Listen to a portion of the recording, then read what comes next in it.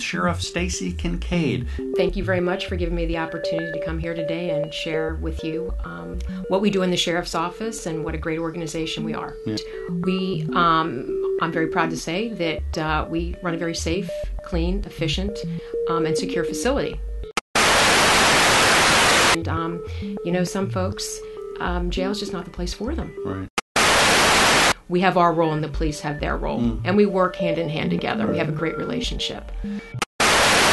The bottom line is that the sheriff's office it's not our job to punish to punish people that are locked up. That's the court's responsibility um, the judicial system. Our job while they're locked up is to keep them safe to keep mm. them secure. And um, we are firm we are fair. But um, we run a very no nonsense uh, you know facility. Yeah. and that's why we are do a great job. Mm being able to be a role model for others. Get involved in law enforcement was because growing up, I was always the one that liked helping people. It didn't matter what your socioeconomic status was, it didn't matter what your skin color was. I was always there to help the underdog.